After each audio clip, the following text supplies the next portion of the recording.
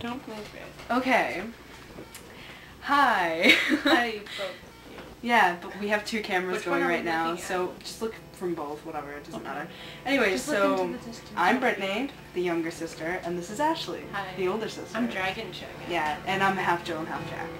But yeah, she's 21 and I am 17. I know.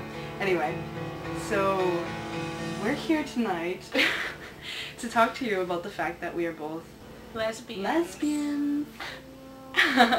anyway, um, we both look like shit right now because, well, we were about Pretty to go to sleep and everything, but whatever, who cares. So, this is a vlog, I don't know, um, my first one, so And mine too. yeah, so it's kind of like we're not really entirely sure what to say, but we'll figure something out. So, um, well, let's just say, well, I, I guess we can start with Ashley's story. If do you mind sharing? Uh, okay. Well, Where so like? I'll start like I'll give you a little description.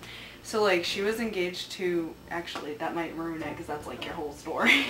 Okay. Let's just say she was with a man for a certain amount of time, and then she'll explain. Before that, I was with Melinda. Yeah, well, we shouldn't say names. of time. Should we Okay. say names? Uh, I don't Um, know. We were. She was with a girl that happened to be We'll my just friend. bleep that out. Yeah, whatever. Anyway, so Okay, so in October of 2005, I was with this girl for only two weeks. And even though it was only two weeks, I thought that she was the one because I was naive and I didn't really know her that well. But after she dumped me, because she said she was confused liked this guy that I don't know what to believe anymore, but who cares? Um, well, I met this guy, John, and started going out. what? And um, after a year of dating him, he proposed to me, and then I said yes. And in April of 2007, I started living with him.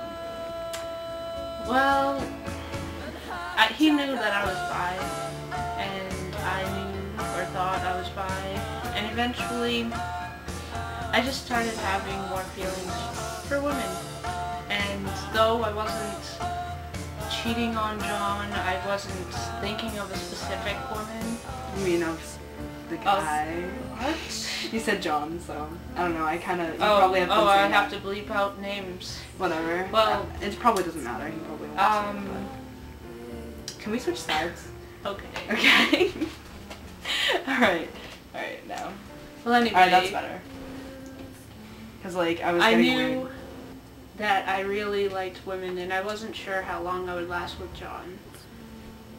I mean, that guy I was with. it's alright. I don't think it matters Um, if you say it. So.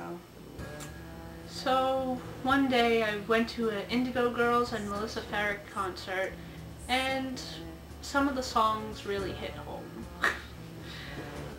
uh, basically, I realized that what I really wanted was a relationship with someone who could be there for me emotionally and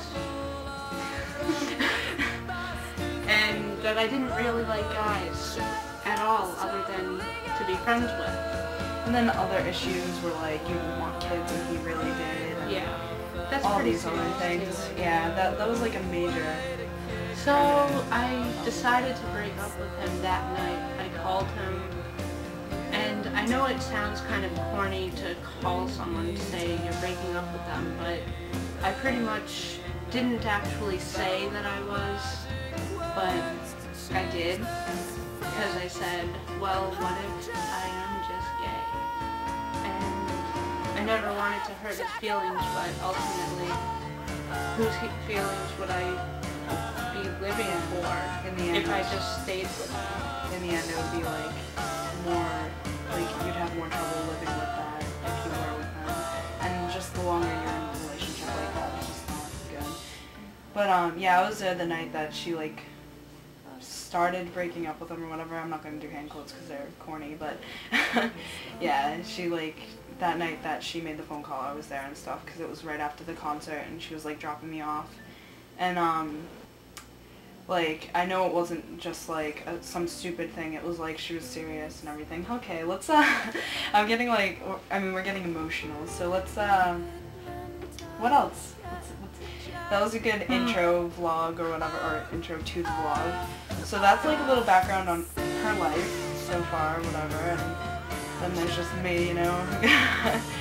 yeah. But you you knew for a while. Oh yeah, I've known for like, I mean, technically I didn't come out until like start coming out until freshman year of high school, and I'm a senior now. So, but um, still that seemed like looking back, it's I've known for like a long time because like I don't know, I'd be in like um, like let's say in middle school or something, I'd want to be close to like these certain girls and stuff like that. Like